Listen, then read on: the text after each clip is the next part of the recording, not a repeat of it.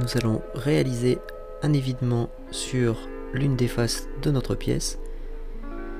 Alors nous allons créer une nouvelle esquisse. Nous cliquons sur l'onglet esquisse, on sélectionne esquisse, on sélectionne la face sur laquelle nous voulons dessiner notre esquisse. Nous allons modifier la vue pour une meilleure visibilité de notre zone de travail. Nous choisissons la vue de dessus et nous sélectionnons l'outil rectangle.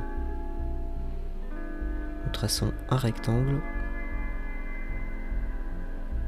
Voilà, nous avons créé la forme de notre esquisse. Il ne nous reste plus qu'à la côté.